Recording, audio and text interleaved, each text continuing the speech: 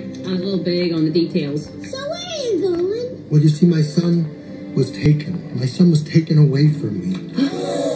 No way. What happened? No, no, no, no, kids. I, I, I don't want to talk about it. Oh, Well, okay. I, I live on this reef a long, long way from here. Oh boy, this is gonna be good, I can tell. And my son, Nemo, see, he was mad at me. And maybe he wouldn't have done it if I hadn't been so tough on him. I don't know.